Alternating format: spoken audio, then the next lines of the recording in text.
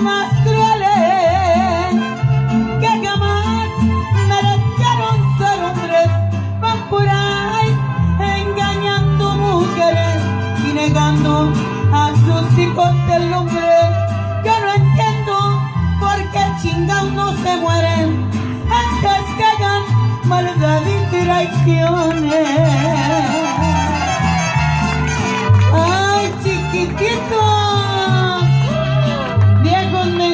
Pero no todos se dan nomás ya uno por uno.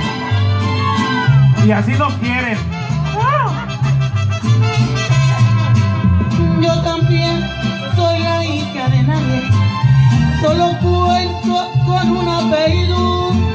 Tengo que agradecerle a mi madre, a mi padre, ni lo he conocido.